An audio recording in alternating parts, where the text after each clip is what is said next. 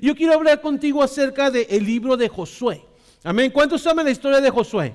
Amén. Todos han escuchado la historia de Josué en algún momento. Pues déjame, quiero que abres tu Biblia conmigo en el capítulo primero del libro de Josué, porque hoy yo quiero hablarte acerca de transición. Di conmigo, transición, transición, transición PDE. Tú dices, ¿qué significa PDE? Punto de encuentro, ¿verdad? Sí, yo sé que ustedes lo habían encontrado ya. Simple y sencillamente para que si alguien todavía estaba poquito transición punto de encuentro. Porque eso que estamos haciendo hoy, como el pastor y apóstol nos lo dijo, no es nuestro destino final. Es simple y sencillamente un paso, el primer paso en el camino rumbo a casa. Amén. Que no nos caería mal un teatro así como este para que sea nuestra casa final, ¿verdad?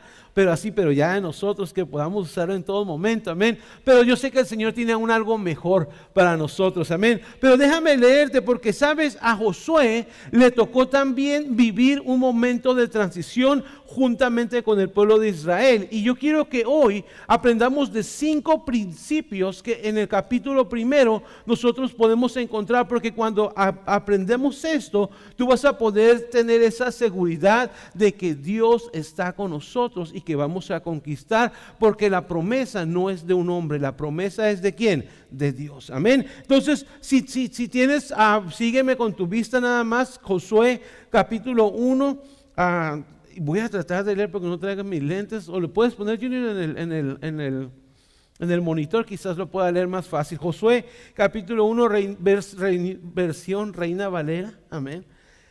Y dice así, lo voy a comenzar a leer, dice, aconteció después de la muerte de Moisés, siervo de Jehová, que Jehová habló a Josué, hijo de Nun servidor de Moisés, diciendo, escucha lo que le dijo Dios, mi siervo Moisés ha muerto, ahora pues levántate y pasa este Jordán, tú y todo este pueblo a la tierra que yo les doy a los hijos de Israel. Yo os he entregado, como lo había dicho a Moisés, todo lugar que pisare la planta de vuestro pie desde el desierto y el Líbano hasta el gran río Éufrates, toda la tierra de los Eteos hasta el gran mar donde se pone el sol será vuestro territorio. Verso 5 dice, nadie te podrá hacer frente en todos los días de tu vida. Escucha lo que está diciéndole Dios a Josué.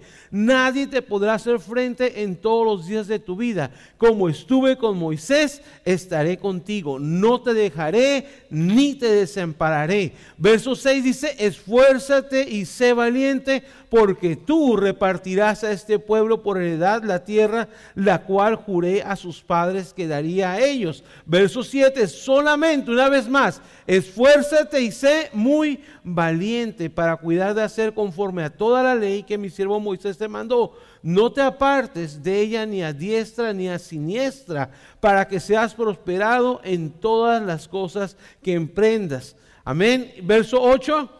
Vamos a ir, a, vamos a leerlo todo, así es de que, ah, para que, no, nomás hasta el 11, perdón. Ah, nunca se apartará de tu boca este libro de la ley, sino que de día y de noche meditarás en él para que guardes y hagas conforme a todo lo que en él está escrito, porque entonces harás prosperar tu camino y todo te saldrá bien. Mira que te mando que te esfuerces y seas valiente. Una vez más, no temas ni desmayes, porque Jehová tu Dios estará contigo donde quiera que vayas.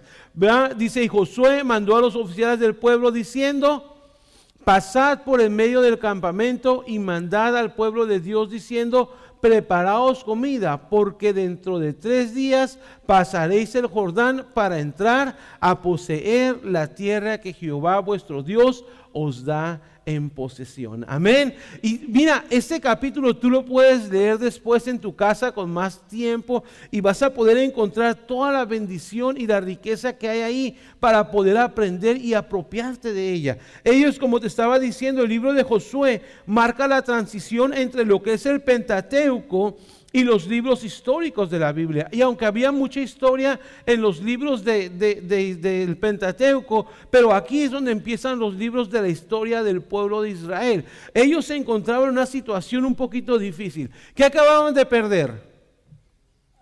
A su líder, a su líder Moisés. Imagínate cómo se sentían. Seguramente estaban preocupados, quizás había zozobra, incertidumbre, se sentían así como, ¿qué va a pasar ahora? Ya no tenemos esto, ya no está Moisés con nosotros, ¿a quién vamos a correr? ¿A quién vamos a ir? ¿Qué es lo que va a suceder con nuestras vidas? Es muy posible que eso haya pasado, pero sabes, Dios en su infinita bondad y misericordia, Él ya tenía preparada una persona o un lugar, algo que Dios iba a hacer para poder a, llevarlos a la tierra de que Él les había prometido. Y mira, ellos ya habían salido de la esclavitud, escucha, ellos ya habían salido de Egipto. ¿Recuerdas Moisés, las diez plagas, cómo Dios los había usado para que pudieran salir y trasladarlos? Más sin embargo, dice que anduvieron por dónde? Por el desierto por 40 años. ¿Y sabes por qué anduvieron por ahí? Porque no confiaron en Dios como Dios les había mandado. Entonces tuvieron que andar ahí. Pero ahora Moisés ya no estaba. Y dijeron, ¿y ahora qué va a pasar? ¿Otros 40 años en el desierto?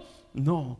Dios les dijo, yo me he provisto de alguien que los va a llevar al lugar donde está la tierra prometida. Y tú dices, Marco, pero no hemos perdido nosotros eso. Sí, claro, nosotros gracias a Dios tenemos nuestros pastores, el liderazgo de la iglesia, estamos, pero quizás tú puedes decir, Marco, pero es que a mí me gustaba mucho aquel lugar donde estábamos. A mí me gustaba mucho aquel lugar donde podíamos ir, seguro estábamos ahí sin ningún problema. A lo mejor me gustaba el parking, estaba más bonito. Y tú puedes decir que muchas cosas te gustaban de allá. A lo mejor no tenemos un lugar y un edificio donde podemos llamar nuestra casa todavía, pero sabes una cosa, Dios está con nosotros y Dios es el que nos va a llevar hasta la tierra prometida porque esa es la promesa de Dios para nuestras vidas. Ahora, escucha, y la semana pasada lo aprendimos porque Larisa nos lo, nos lo predicó y nos enseñó de que nosotros somos un qué, un tesoro especial, precioso para Dios. ¿Recuerdas? Nos enseñaba Larisa y qué era lo que teníamos que hacer. De acuerdo a eso, había cuatro cosas importantes que teníamos que hacer. No lo voy a repetir porque no tengo mucho tiempo para repetir todo el mensaje, pero yo me quedé muy, muy, muy ah, impactado con saber de que si nosotros somos un tesoro especial, entonces Dios siempre va a tener cuidado de nosotros, de nuestra vida. ¿Hay algo que tú valoras en tu vida? ¿Hay algo que te gusta mucho? ¿Recuerdas que la esa nos dijo, hey, a ver, ¿qué les gusta a ustedes cuando si algo se estuviera quemando su casa? ¿O qué es lo más valor? ¿Qué es lo primero que vas a sacar de tu casa? A lo mejor algunos dirán el celular, ¿verdad?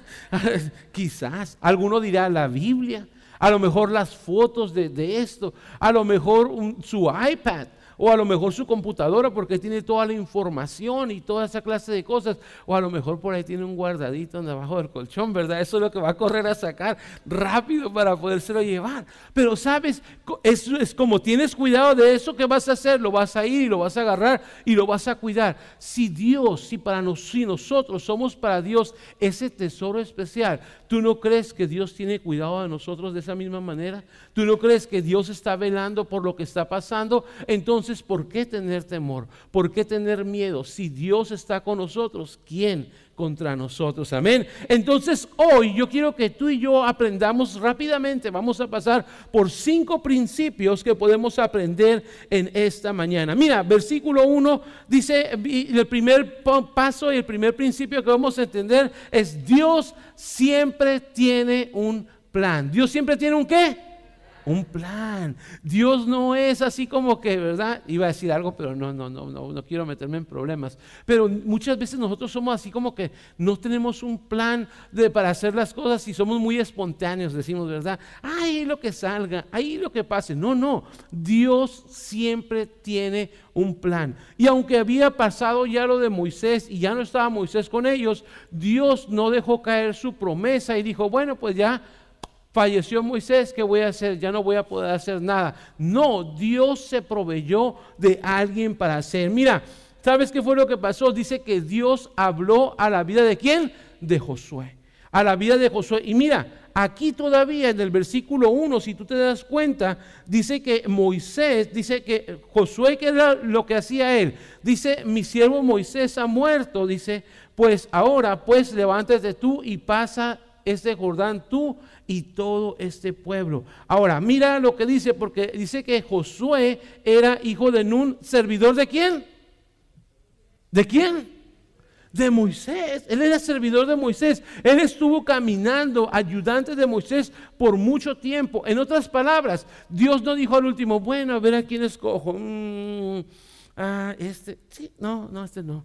Bueno, no, mucho tiempo antes de que esto pasara, Dios ya había preparado a Josué para que estuviera trabajando al lado de Moisés por mucho tiempo, aprendiendo los, todo lo que él tenía que aprender, buscando, escuchando la experiencia, todo. ¿Para qué? Para que cuando llegara esta hora, él pudiera levantarse y llevar al pueblo de Israel, ¿a dónde? A la tierra prometida. Entonces, lo que nosotros tenemos que entender es de que Dios siempre tiene un plan. Aquí si te das cuenta, Moisés, Josué no se levantó y dijo, ahora yo soy el líder de aquí y yo soy el mero mero y todos me tienen que hacer caso. Para nada. Josué se levantó y dijo, ¿saben una cosa?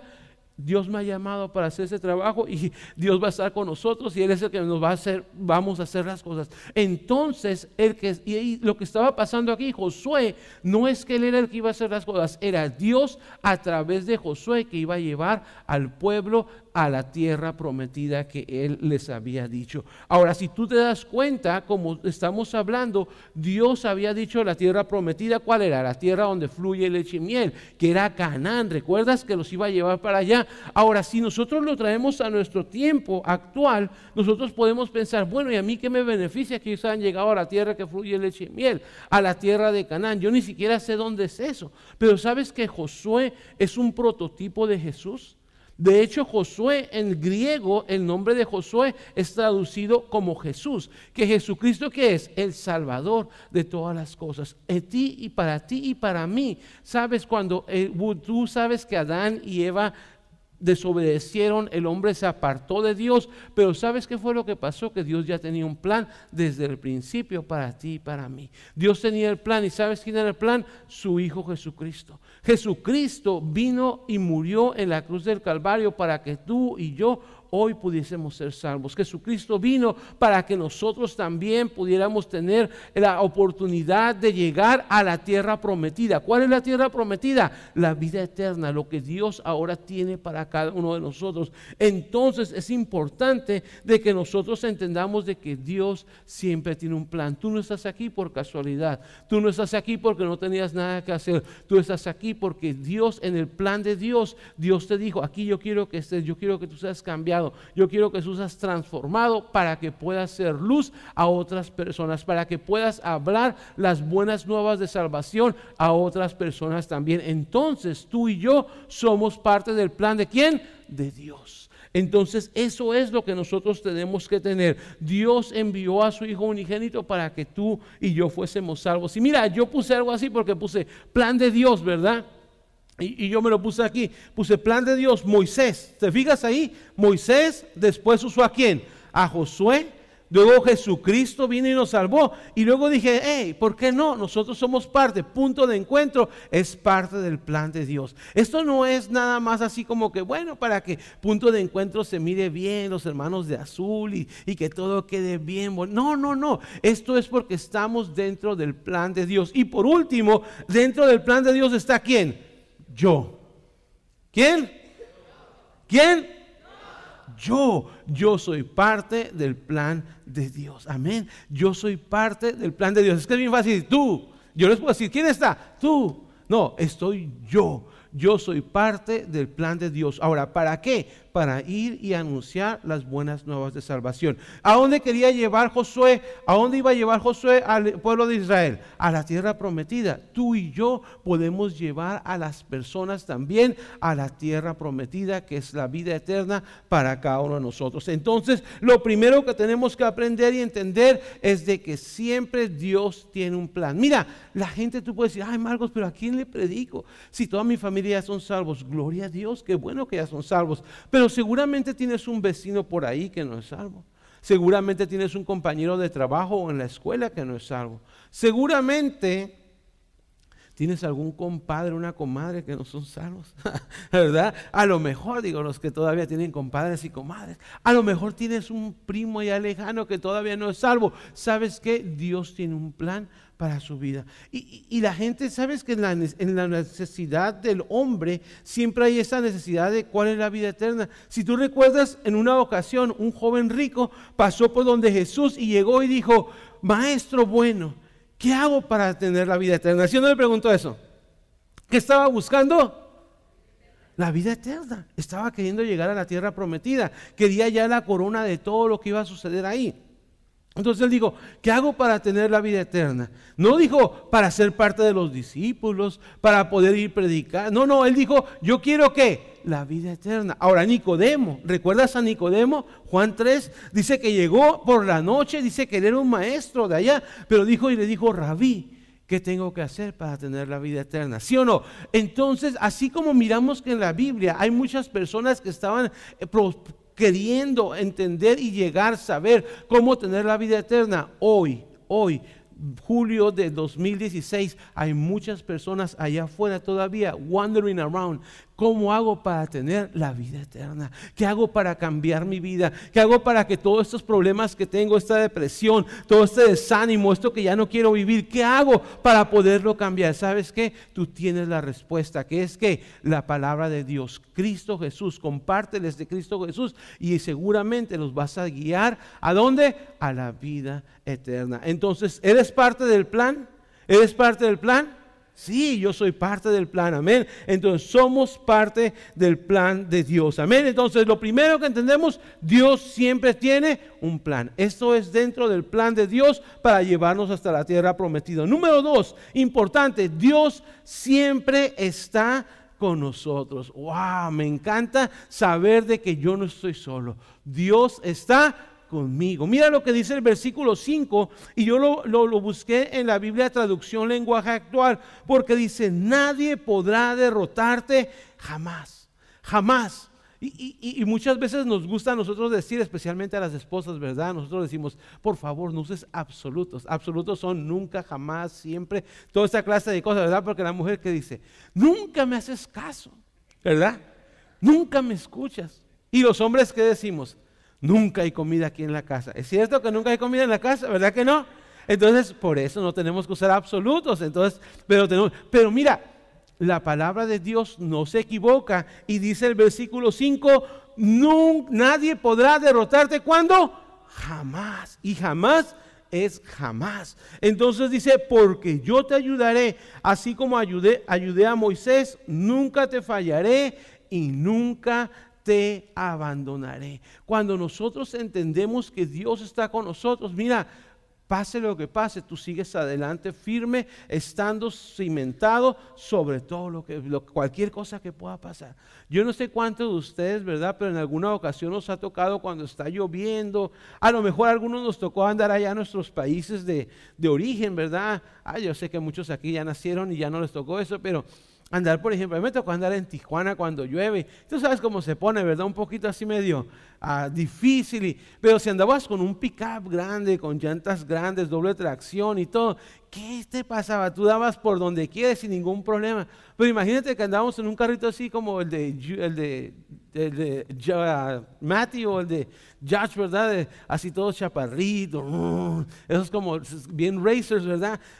Imagínate, no hombre, desde el primer tope se les anda quedando por ahí en Tijuana, ¿verdad? Pero cuando traes un carro grande, así, pick-up, son grandote, tú le das por donde sea. Tú sabes, este no me va a dejar y voy a seguir adelante. ¿Sabes? A veces ponemos nuestra confianza en cosas como esas, pero déjame decirte de que Dios está con nosotros y nada nos puede pasar. Quizás Josué sintió una gran carga cuando le dijo Dios, hey, ven, tú vas a sacar al pueblo de Israel. Yo te voy a, te voy a usar para que me lleves a, a la gente a la tierra prometida. Quizás él sintió temor y dijo, ¿y ahora qué voy a hacer? ¿Y cómo le voy a hacer yo? Yo no tengo la experiencia que Moisés tenía. Es más, yo ni siquiera soy tan paciente como Moisés era. Yo, yo no sé qué voy a hacer. Capaz que yo sí desenfundo la espada y mato a unos dos, tres aquí. Quizás pensó eso.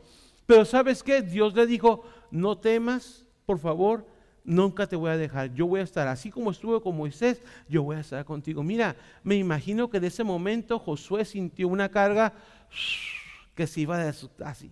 Ah, se sintió relajado, así completamente. ¿Por qué? Porque sabía que no lo iba a hacer él. Era Dios que iba a estar con él para poder hacer las cosas. Mira, muchas veces nosotros también en nuestra vida, en esta transición que estamos haciendo en nuestra iglesia, quizá haya un poquito de temor. Quizá haya un poquito de, ay, incertidumbre o zozobra, ay, ¿qué va a pasar? ¿O qué va a hacer con esto? ¿Qué va a hacer con aquello? Y, sabes, pero cuando tú y yo escuchamos la voz que de Dios que dice, hey, punto de encuentro, no se preocupen, así como estuve con Moisés y como estuve con todas las personas en la Biblia, así voy a estar yo con ustedes. Nunca los dejaré, nunca los voy a desamparar, yo siempre los voy a acompañar en su vida. ¿Qué, qué, qué más podemos pedir? Aunque sea quien sea, sabes, lo más importante es que Dios está con nosotros. Es importante de que nosotros lo hagamos porque Dios cumple siempre sus promesas. Mira, si tú dices, bueno, pero es que eso le dijo a Josué, pero a nosotros, ¿quién me lo dice? Mira Jeremías 20:11, dice, mas Jehová está conmigo como poderoso gigante, dice Jeremías 20:11. Lo por tanto, dice, los que me persiguen tropezarán y no prevalecerán. Serán avergonzados en gran manera porque no prosperarán. Tendrán perpetua confusión que jamás será olvidada. ¿Cómo va a estar Jehová contigo? Como poderoso gigante. Como poderoso gigante. Yo siempre pongo esta y uso esta ilustración. ¿Cuántos tienen hermanos mayores? ¿Verdad? Cuando tenemos un hermano mayor, tú caminas alrededor de él como que tú eres el rey de la cancha ahí, ¿verdad? Así como, ah, mi hermano, ¿verdad? Voy con mi hermano, que quieren algo conmigo, allá está my, my brother, he's de verdad. Y, así somos a veces cuando tenemos hermanos mayores. Ahora, si tú vas caminando y Dios está contigo, déjame decirte que nada te podrá hacer frente. Dios está con nosotros. Punto de encuentro, Dios está con nosotros. En toda la transición, en todo el camino, en todo lo que hagamos, Dios está con nosotros. No porque yo lo digo, pero porque su palabra nos dice y nos enseña eso. Romanos 8:31 también, ¿verdad? Después de, de todo esto que se queja y que dice ahí que es cuchillo y todo, dice 8, Romanos 8:31. ¿Qué pues diremos a esto? Si Dios es por nosotros, ¿quién contra nosotros? Si Dios es por nosotros, ¿quién contra nosotros? Seguramente vas a escuchar a alguien decir, ay, no, que esto, ay, no, que aquello. Porque mira, nunca se puede complacer a las personas. Siempre las personas se van a estar quejando, siempre van a estar diciendo, ay, no, que está esto, ay, que está aquí, ay, que está allá, ay, que... Pero sabes qué, la gente puede hablar y decir lo que quiera, mientras que yo sepa que Dios está conmigo, ¿quién contra mí? Si Dios está con nosotros, ¿quién contra nosotros? Si no es que andemos peleando, ¿okay? no se va a decir, no, no, no. Pero yo quiero que usted entienda de que Dios está con nosotros, cuidándonos, ayudándonos y protegiendo. Y así como estuvo con Josué y el pueblo de Israel hasta que llegaron a la tierra prometida, Dios está con nosotros. Amén. Yo estaría brincando diciendo, amén, gloria a Dios, Dios está con nosotros. Punto de encuentro, Dios está con nosotros, amén. Dios está con nosotros. Así es de que fuera el temor, fuera toda aquella duda, fuera todo aquello, di, Dios está conmigo, vamos a conquistar, amén. Número tres, tercer principio que tenemos que aprender, porque es importante, Dios, ¿sabes qué? Le demandó algo a Josué. Y demandar no es si quieres, no es opcional. Dios le dijo, mira, yo necesito que tú seas algo nada más. Yo te voy a ayudar, yo voy a estar contigo, yo voy a estar siempre al frente, pero yo necesito algo de ti. Le dijo, esfuérzate y sé muy valiente. Versículo 7, solamente esfuérzate y sé muy valiente. Eso es lo que Dios quería. Dios le estaba diciendo a Josué, sabes que lo único que necesito de ti, que te esfuerces y que seas valiente. Que te esfuerces y que seas valiente. Si tú te das cuenta, en ese capítulo lo podemos mirar muchas veces. Sabes, toda transición requiere esfuerzo. Toda transición requiere de valor, requiere de valentía para poder hacer las cosas. Mira, lo único que se separa a las personas exitosas de una persona que nunca logra nada es que esa persona es esforzada y que tiene el valor para aventarse y para poder lograr las cosas. ¿Cuántas veces tú has sentido a lo mejor tener un negocio? y decir, yo tengo, tienes la capacidad para hacer un negocio. Siempre recuerdo al pastor Rolando porque él siempre dice, hey, Tú estás trabajando con tus habilidades para que otra persona haga dinero, cuando tú eres el que puede ser el que está haciendo el trabajo y ganar tú y ser el dueño de tu propio negocio. Pero ¿sabes por qué no lo hacemos? Porque tenemos temor porque no nos gusta el esfuerzo. Ay, no, pero tengo que llevar luego contabilidad. Ay, no, qué pereza. Ay, no, voy a tener que ir a abrir yo también el chat. Oh, no, qué pereza.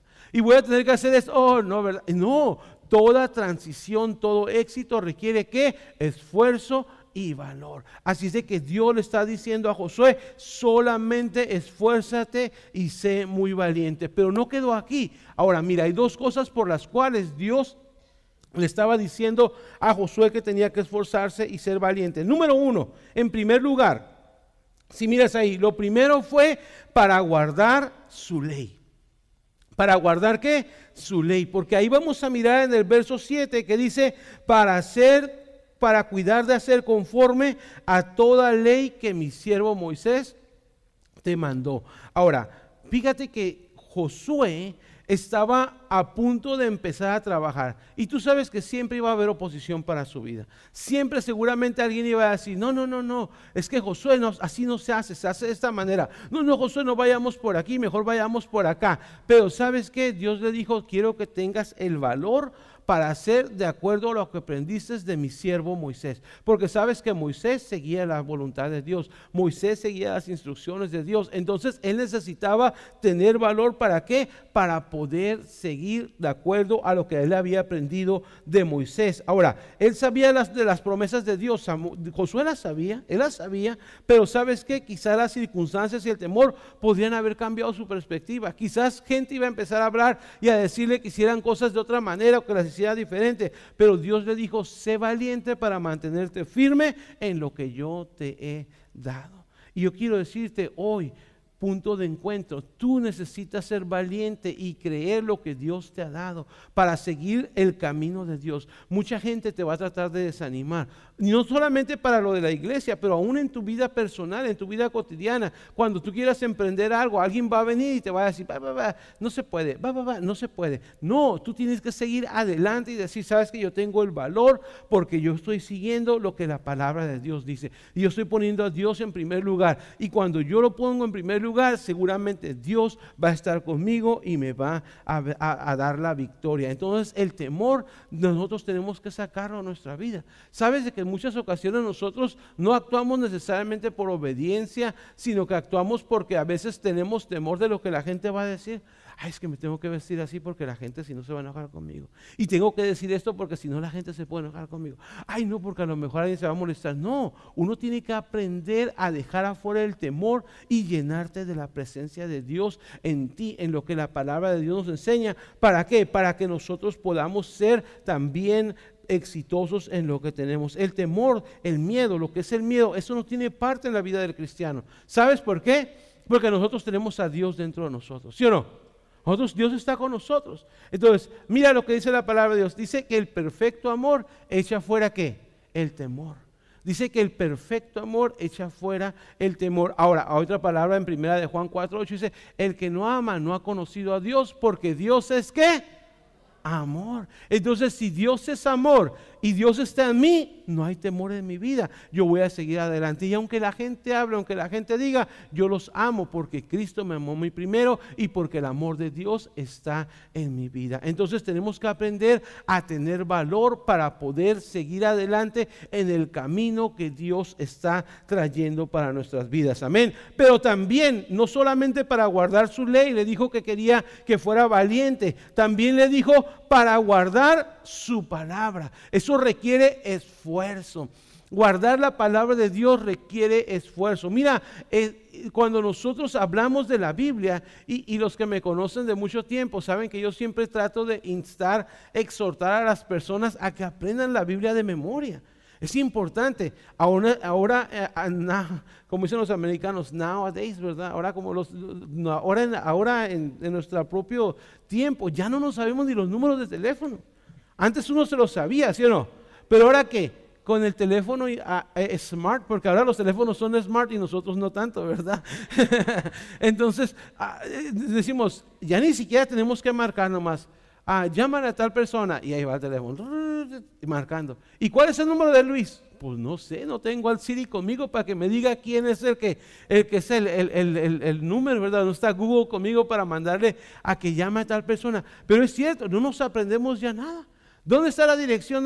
Oh, ¿para qué? Ah, pone el GPS, GPS, ¿verdad? Para los, para los de acá. Pone el GPS. Y el GPS te lleva a donde tú quieres llegar. ¿Sí o no? Entonces, ¿qué pasa? Antes yo recuerdo que, bueno, los dios porque soy más, ¿verdad? Más, más antiguito, ¿verdad? Pero yo recuerdo que había unos libros que se llaman Thomas McGuire. ¿Alguien nos les tocó ver esos libros? Y decía que el Grid A3 y la columna 4. Entonces tenías que buscar así y ya mirabas. Ah, ok, aquí este es el lugar, ¿verdad? Ahora que ponemos una dirección y hasta miras cómo se mira. Te vas así a Google Earth y lo miras, hasta allá llegas. Si quieres ir hasta España, ahorita saliendo de aquí, te puedes ir vía Google Earth y puedes llegar hasta el estadio de, donde juega el Barcelona, el mejor equipo de, amén, de, la, Liga Española. Amén, gloria a Dios. Ah, lo borran, ¿eh? porque el pastor es del Real Madrid, así que... pero, pero puedes llegar hasta allá, ¿por qué? Porque está todo. Pero ¿sabes qué? Para, tener la palabra de Dios y aguardarla requiere esfuerzo. Hay que aprender, hay que memorizar. Mira lo que dice el versículo 8. Nunca se apartará de tu boca este libro de la ley, sino que de día y de noche, dice, meditarás en él para que guardes y hagas conforme a todo lo que en él está escrito, porque entonces harás prosperar tu camino y todo te saldrá bien. Entonces, ¿qué tenemos que hacer? Guardar la palabra del Señor. Requiere esfuerzo requiere tiempo leer la Biblia. Mira, esta Biblia no está viejita porque la traía ahí nada más, ¿verdad? En el carro aventándola en la cajuela todo el tiempo. No, está viejita porque la ha usado, porque está, está, mira, toda rayada y todo, porque ha aprendido a leer y a escudriñar la palabra del Señor, porque me ha aprendido los, los, textos. Yo sé, yo soy, ya tengo 46 años, yo sé, aunque no parezca, parece que tengo más, ¿verdad?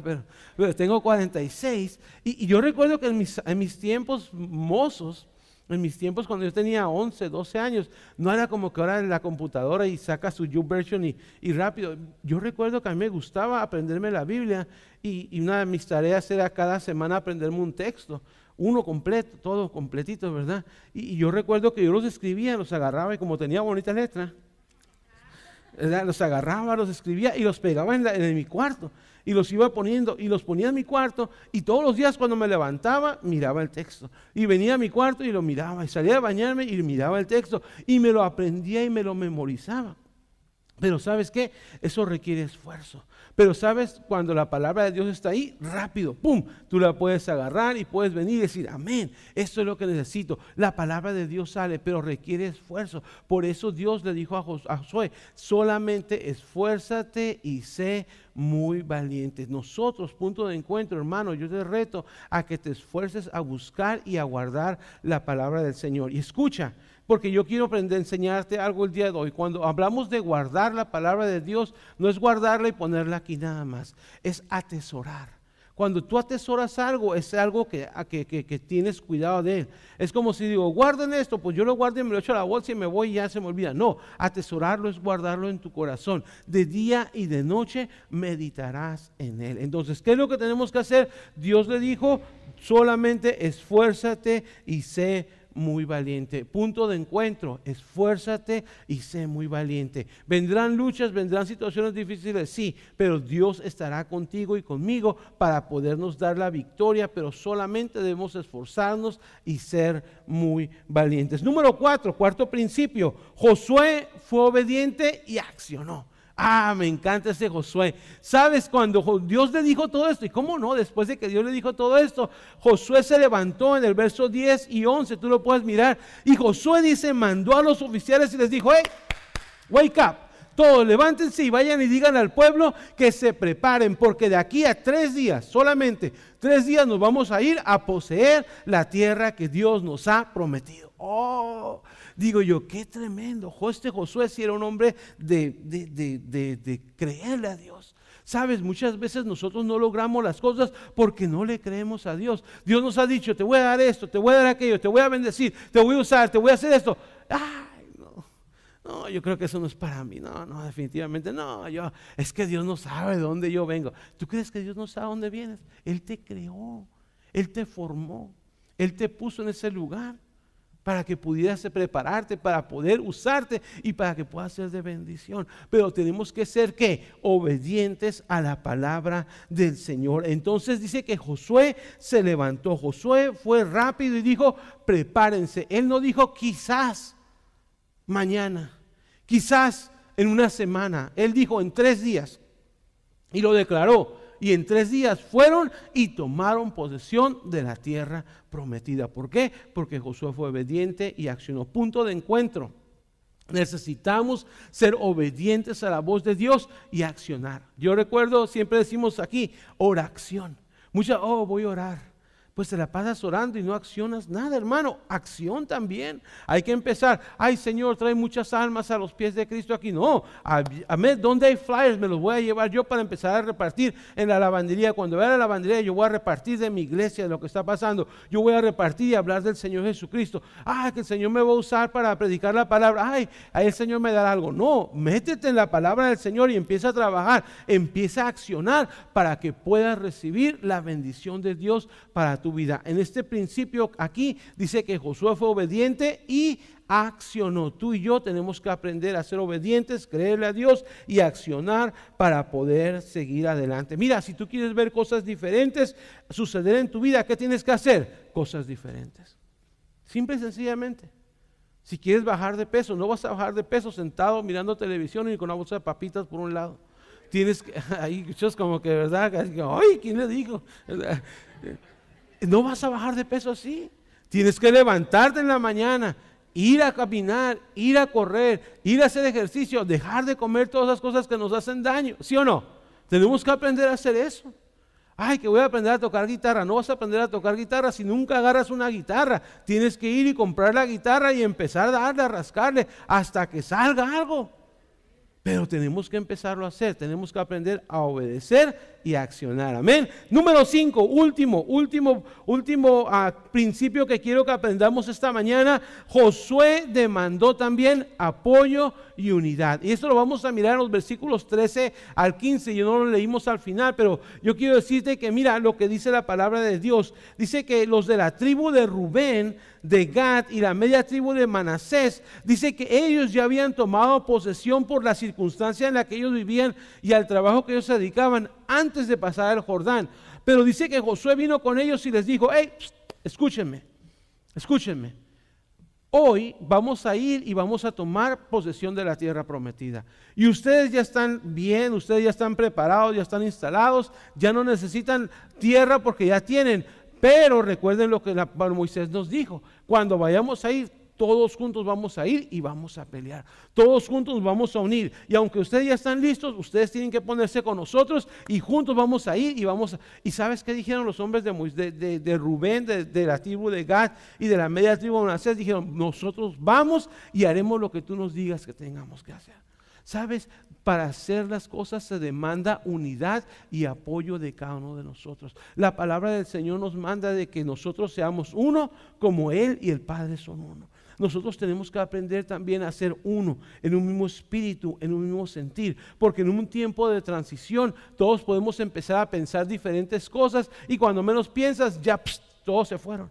Necesitamos unirnos en un solo corazón, en un solo espíritu, en un solo pensamiento y decir, vamos a ir y vamos a tomar la tierra prometida. Déjame decirte algo, no importa cuántos años tienes en aquí en la, en la iglesia viniendo. O Sonia dijo, yo tengo 16 años, ¿verdad? Y yo digo Sonia porque Sonia yo sé que ella es madura espiritualmente, pero hay mucha gente que dice, oh, es que yo tengo 20 años. Es que yo ya tengo 15, yo no necesito ir a hacer eso, yo no necesito ir a hacer aquello. No, sabes, no importa que ya estás en el lado del Jordán con tu tierra. Dios dice que, dije Josué les dijo, hey, unámonos en unidad y vayamos y tomemos posesión de la tierra prometida. No importa cuántos años tengas, no importa cómo te apellides, no importa qué título o posición tengas en la iglesia, tú necesitas estar en unidad y necesitamos estar en unidad para poder llegar a dónde? A la tierra prometida. Josué se los demandó, la gente lo escuchó y se unieron y ¿sabes qué fue el resultado? Lograron poseer la tierra prometida. La única manera que tú y yo vamos a lograr conquistar esa tierra prometida es cuando todos juntos nos unamos y vayamos a hacer el trabajo que Dios nos ha encomendado para hacer. Cuando nosotros vayamos y tomemos la tierra prometida. Mira a tu alrededor, mira a tu alrededor. Mira todas las sillas vacías. Mira todas las vacías. ¿Tú crees que un día Dios las puede llenar? Amén, me gusta que amén, los de aquí como que están más unidos, ¿verdad? ¿Te gusta? Me gustaría, ¿tú crees que Dios puede llenar todas las sillas? Amén, Dios las puede, pero sí, ¿cómo? Solamente cuando nos unimos y trabajamos. Solamente cuando nosotros entendemos de que el trabajo no es nada más del pastor, no es solamente del líder, no es solamente de mi grupo de crecimiento, es mi trabajo. Yo soy parte del plan de Dios para anunciarle al mundo lo que Dios tiene para ellos. Pero necesitamos tomar en serio este lugar. Así es de que hoy, punto de encuentro, en esta etapa de transición y caminos a la tierra prometida, se nos demanda que unidad apoyo, esfuerzo y valor, sabiendo que Dios está con nosotros y que Dios siempre tiene un plan para podernos llevar a la tierra prometida. El resultado va a ser el final, poder ver almas salvadas, almas completamente transformadas, vidas que quizás puedan venir a este lugar. Y sabes, yo miraba a Peter, el testimonio de Peter, y me dio gusto porque quizás cuando cuando llegó aquí, algunos pensamos, ¿verdad? No, no creo que tenga mucho remedio ya. En serio, ¿verdad? Y, digo a Peter porque lo amo y lo conozco de muchos años atrás. Quizás muchos dijimos, no, no va a tener, no creo que vaya a cambiar. Pero ¿sabes qué? Dios ha ido haciendo el cambio en su vida. Dios, y todavía está trabajando en, en cambiar completamente su vida hasta que llegue a un día estar aquí predicando la palabra del Señor y haciendo la voluntad del Señor. Eso es. ¿Cuántos matrimonios, eh, matrimonios desechos no van a llegar aquí? Y sabes que Dios te va a usar a ti, a nuestra iglesia, punto de encuentro, para restaurar esos matrimonios. Matrimonios en los que nosotros a lo mejor podemos pensar decir, sí que se divorcie, sí que lo deje, sí que la deje, que se vaya, ¿verdad? Le va a hacer un favor. No, ¿sabes qué? Eso no es lo que Dios quiere. Dios quiere restaurar tu matrimonio. Dios quiere cambiarlo y quiere hacer una completamente algo nuevo en tu vida. Ahora, déjame decirte, lo único que tienes que hacer es poner a Dios en primer lugar. Cuando tú pones a Dios en primer lugar y Dios es el centro de todo en tu vida, tu vida va a cambiar, tu vida va a ser transformada y vas a mirar cómo Dios va a hacer cosas grandes en la vida tuya y en la de las personas que están a nuestro alrededor. Y déjame concluir diciéndote, ¿verdad? Porque nosotros como líderes también estamos aquí listos para unirnos juntos, a apoyar, unir fuerzas y poder salir adelante victoriosos y hoy poder decir, hoy fue el primer día, escucha, tú estás siendo parte del primer día de la transición de nuestra iglesia punto de encuentro. Quizás de aquí a no sé cuánto tiempo nosotros vamos a estar, amén, gloria a Dios, ese es el lugar que Dios tenía para nosotros. Y yo creo que todavía no va a ser todavía, a lo mejor Dios tiene más, porque dice cosas que aún ni siquiera te puedes imaginar, son las que yo tengo para ti. Amén, eso es lo que Dios quiere hacer. Hoy hemos visto cómo Dios demuestra su fidelidad al cumplir la promesa que él había dado a Abraham. Dios le dijo a Abraham, te bendeciré a ti y a toda tu descendencia. Tú y yo somos descendencia del pueblo de Israel, somos descendencia del pueblo de Abraham, ¿verdad? Dice, lo único que ellos tenían que hacer era entrar y poseer la tierra, la cual, lo cual hicieron como bajo el liderazgo de Josué. Ahora escucha, la tierra Dios ya la tenía preparada, ya estaba ahí, ¿sí o no? No fue que se creó Dios una nueva tierra para que fueran y la poseyeran. La tierra ya estaba ahí. Lo único que tienen que hacer era entrar y poseerla. Hoy, ahora, en forma similar, nosotros como cristianos hemos sido bendecidos con toda bendición espiritual en Cristo Jesús, según Efesios 1.3. Efesios 1.3 dice, bendito sea el Dios y Padre de nuestro Señor Jesucristo, que nos bendijo con toda bendición espiritual en los lugares celestiales en Cristo. Pero, al igual, al igual que el pueblo de Israel, lo único que tenemos que hacer es ir y apropiarnos personalmente de cada una de esas promesas y bendiciones que Dios tiene para nosotros. ¿Y sabes cómo lo vamos a hacer? Solamente cuando vivamos de acuerdo a la voluntad de Dios. ¿Tú quieres recibir todas esas bendiciones que Dios tiene para ti? ¿Tú quieres recibir y, vivir en la prosperidad que Dios te da? Y recuerda, prosperidad no es dinero. Mucha gente piensa que prosperidad es dinero. Prosperidad es tener paz en tu corazón. Prosperidad es tener armonía, poder estar bien. Eso es lo que es prosperidad, tener todo lo que necesitas, que nunca te falte nada. Esa es la prosperidad, no es tener millones, porque si tienes millones, a lo mejor vas a estar preocupado por los millones y, ¿qué pasa con mis millones? No, pero cuando tú tienes paz, pueden ser millones, gloria a Dios, aleluya, amén, lo tomamos también, que Dios nos bendiga de esa manera, pero sabes que es tener paz y saber que Dios está con nosotros. Hoy, punto de encuentro, en nuestro primer momento de transición de la fase 1, ¿qué es lo que nosotros queremos hacer? Empezar a caminar confiando en que Dios tiene el plan que Dios tiene un propósito para nosotros, que Dios está con nosotros y lo único que tenemos que hacer es esforzarnos y ser muy valientes. ¿Estás conmigo? Punto de encuentro. ¿Estamos listos para llenar este lugar? ¿Estamos listos para ir y predicar a otras personas? El trabajo va a ser más. Pero hay un esfuerzo y un valor que tenemos que tener. Entonces vamos a hacerlo, vamos a trabajar y vamos a salir adelante. Ponte de pie.